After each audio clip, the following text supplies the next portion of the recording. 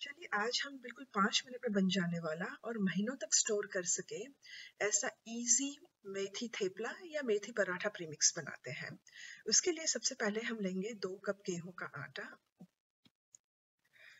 गेहूँ का आटा डालने के बाद हम डालेंगे बेसन और बेसन के बाद बारी आती है कसूरी मेथी की। ये ड्राई मेथी लीव्स हैं। इससे स्वाद बहुत बढ़िया आता है। इसके बाद हम डालेंगे तिल और नमक स्वाद अनुसार। फिर डालेंगे लाल मिर्च पाउडर। ये अपने स्वाद के हिसाब से ले सकते हैं।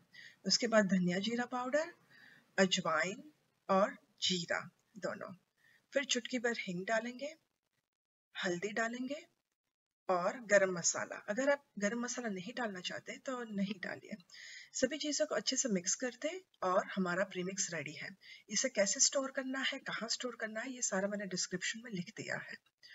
अब हम थेपला या मेथी के पराठे बनाएँगे। सबसे पहले हम एक कप प्रेमिक्स लेंगे। उसके अंदर एक टेबलस्पून दही और एक टेबलस्पून ऑयल डालकर अच्छा सा नरम आटा गूंद लेंगे।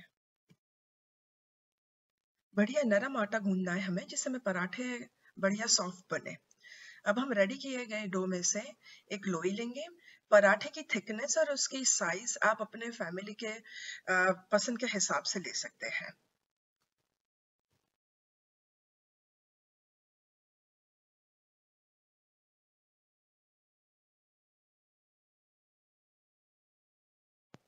फिर बातों ही बातों में मैंने सारे पराठे रेडी भी कर लिए अब बारी आती है इन्हें अच्छे से सेकने की। जैसे हम नॉर्मल पराठों को सेकते हैं, वैसे ही घी या तेल या बटर लगाकर दोनों तरफ़ से आप पराठों को सेक लीजिए अच्छे से। और लीजिए तैयार है गर्मा गर्म थेपला या पराठे, अब चाय या अपने मनपसंद अचार के साथ खाने के लिए।